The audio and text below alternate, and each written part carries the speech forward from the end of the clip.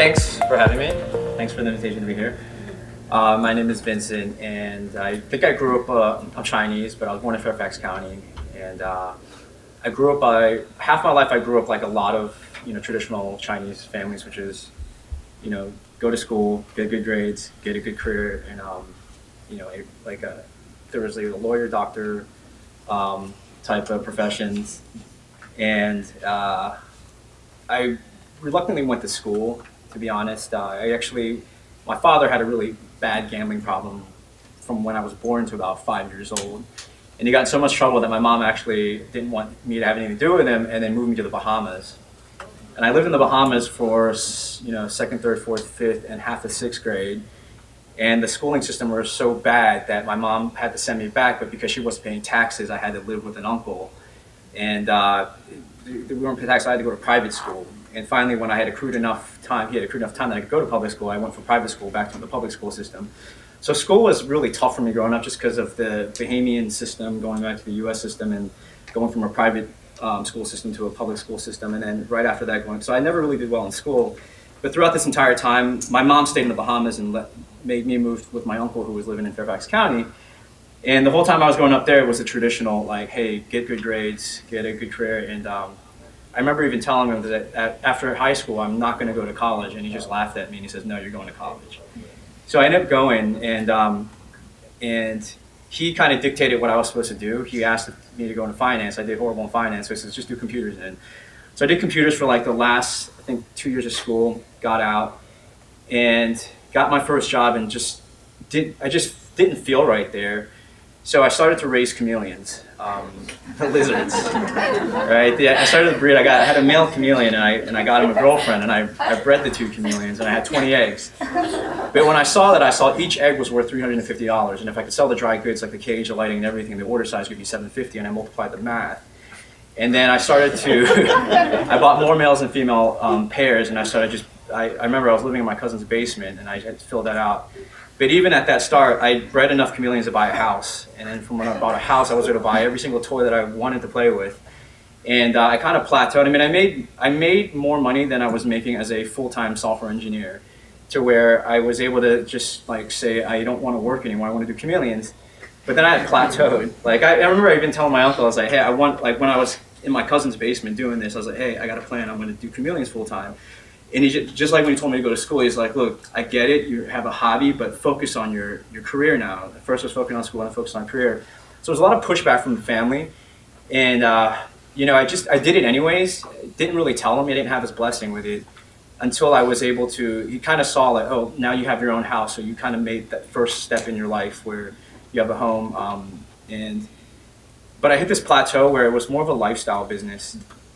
And with a lifestyle business, it was like, it was cool that I didn't have to go to work anymore, but I was really working a full-time job. I was just working for myself.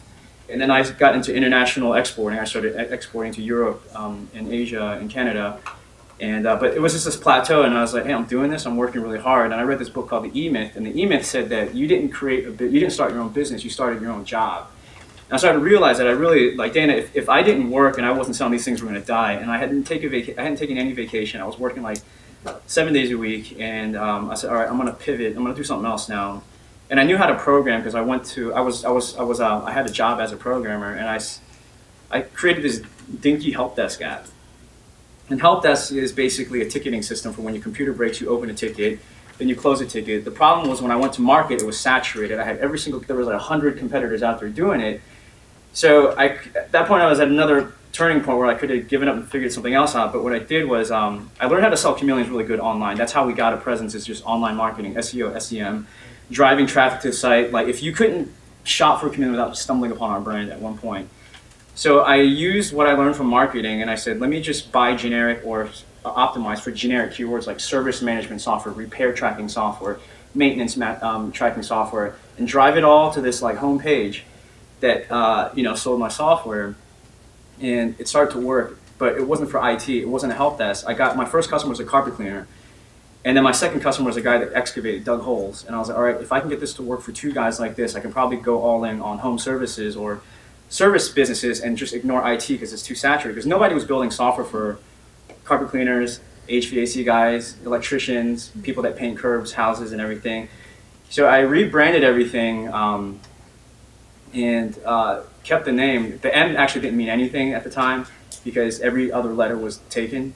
So it just went through A, A, B, C, D, E, and finally it landed on M. And then like people used to ask what the M is, but fortunately now we tell them it's M for mobile, mobile help desk, which is exactly what the product is. So we were lucky on that end, and uh, started to build up traffic, and you know, getting them on the on the on the landing page. Part of my my change from going to Chameleons was like the confidence that I said, if I can sell a chameleon, I can sell anything. And I had learned, I had read every single book on selling. I mean, like Zig Ziglar, um, Chet Holmes, every author that was out there, and started reading even like uh, you know predictable revenue. Every single book that was on selling, I learned how to sell. And uh, instead of waiting for the sales to fall into my lap, I actually went out there, picked up the phone, and I started calling people to sell them.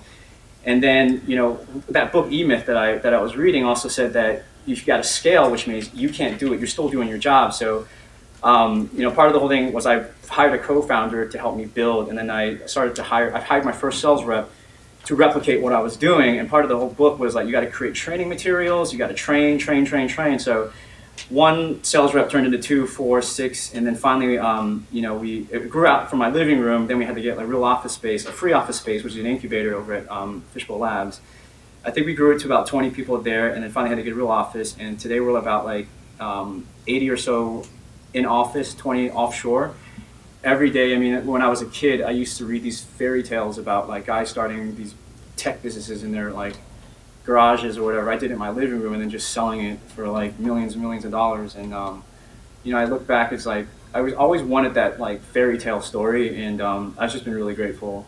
And that's where I'm at today. So I'm still with mHelpDesk. Uh, I got the logistics and everything on the inside. I just have to do it for two more years, and and I don't know what's going to happen after two years.